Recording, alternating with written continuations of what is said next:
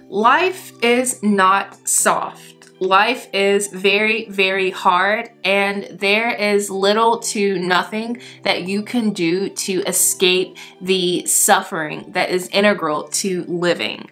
But what you can do is alleviate or lessen the impact of life's hardships. So today I'm going to share with you four intentional living habits that you can and should practice on a daily basis so that you can learn how to live a soft life for the rest of your life. So the first intentional living habit that I would recommend for living a softer life is to do at least one good thing for yourself every single day. And this is actually a really easy habit to adopt because all you have to do is do what you normally would in a day and just try to make it 1% better. For instance, let's say that you have a 30 minute commute to work or maybe 45 minutes or maybe even an hour. You can use that time to listen to a motivational podcast or an educational video. Or let's say when you come home, you know that you have a ton of laundry to do or dishes that are just stacked up in the sink. Use that time to put on a face mask, pour yourself up a glass of wine, put some nice music on, or you can use that time to deep condition your hair, put on a plastic cap, and just go about your afternoon or your evening. You want to try to find ways to give back to yourself, in particular when you are doing things that require you to expend or put forth, put out energy. And whatever good deed or good deeds that you choose to do for yourself, you want to make sure that they are deeds that allow your life to be softer now, but also help to make your life softer later on as well. And that these are deeds that move you closer, that push you a step forward towards your ideal life. So for instance, let's say that you want to live in an oceanfront property someday. Then a couple days a week, actually drive to the beach or to the closest lake or river or whatever body of water is nearby. And if that's something that's not accessible to you, then that's okay. When you come home, take a nice bath or a really long, refreshing shower or if that's something that you can't do for whatever reason, then just put some ocean waves on TV and pour up some sea salts and just smell them and really allow yourself to sink into the moment. I know that sounds really silly, but I actually do that a lot when meditating because the ocean is my safe space and sometimes, you know, I can't really take a shower or a bath right now. I can't just drive out to the beach. So I can, most of the time, I can always put on some ocean waves. I can grab a little bit of sea salt from out of the kitchen and just smell those scents, listen to those sounds, and I can treat myself to something that is a reflection of my ideal life. Whether it is two hours or two minutes of your time, there is absolutely no reason why you cannot do at least one good thing for yourself every single day. You cannot tell me that there is an excuse because there is no excuse. No. So the second of my soft life tips is to treat yourself like a child who you want to grow into a healthy, well-adjusted adult. And I make this distinction from a child to a child who you want to grow into a healthy, happy, well-adjusted adult. Because here's the thing, you are an adult. Yes, you are a child in the grand scheme of life. You are a child of the universe. You are a child of God.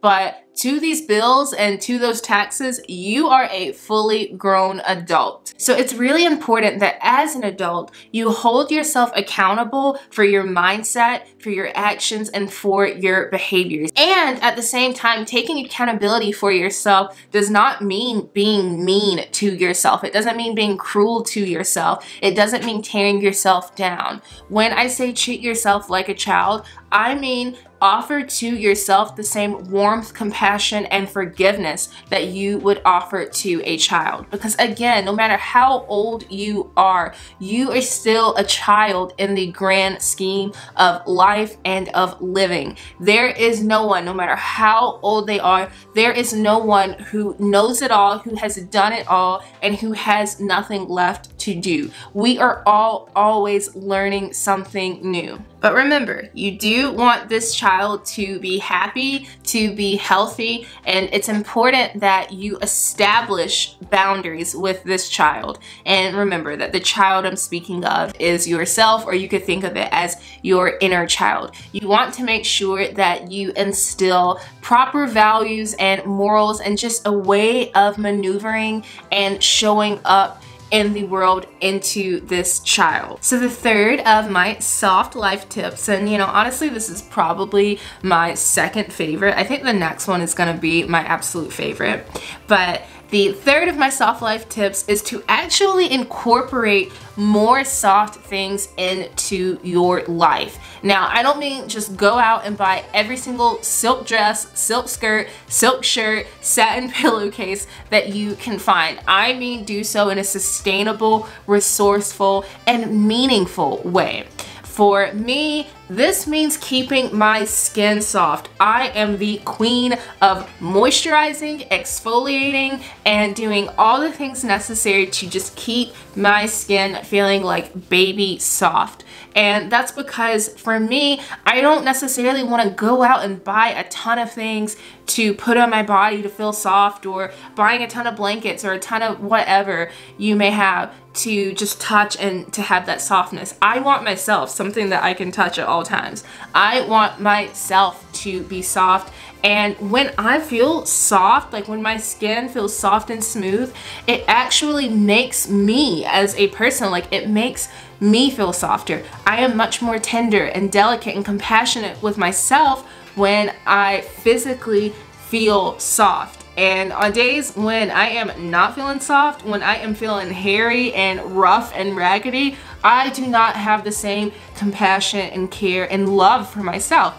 So it's really important that you find ways to incorporate soft things into your life. That could be taking better care of your skin, or that could be wearing clothes that are really soft and have a nice texture. This could also mean like doing things that bring out the softer side of you, such as taking care of a child, taking care of a pet, taking care of a plant. That will definitely bring out a soft side of you to take care of something. But you want to incorporate soft delicate, fragile, gentle things into your life that will encourage you to slow down, to appreciate the moment around you, to step into the body, and to just have softness in your life will make you a softer person. And my fourth and final and favorite tip for learning how to live a softer life is to create a long lasting and meaningful relationship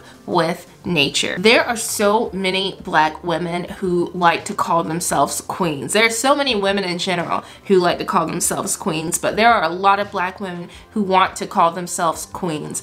And when you think back, there is no civilization that has had some sort of royalty or some sort of dynasty that that royalty was not founded in some way, shape, or form with a connection to the land. You cannot, I'm sorry, I hate to tell you this, I know it sounds harsh, but you cannot call yourself a queen if you have absolutely no relationship or no desire to have a relationship with the physical world, with the great outdoors, with Mother Nature. You are not a part from nature, you are a part of nature. And the more estranged that you feel from the ground beneath your feet and from the air that is going into your lungs, the more estranged you will be from your queenship. So much of what hardens us and what makes us so callous is that we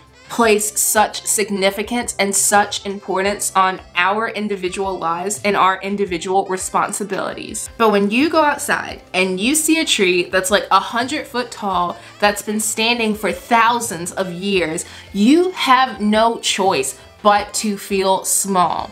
And I want you to remember that that is okay. You are small. We are small. But small does not mean insignificant. All right, everyone. Thank you so much for watching today's video. I hope that you enjoyed and I would love to know in the comments down below what are some of your tips for black women who are looking to live a softer, more graceful, more easeful, if that's even a word, a more graceful, soft lifestyle. What are some of your tips? Please make sure to add them down below in the comments section. And until next time, stay safe, be well, and I will see all of you very, very soon. Bye, everyone.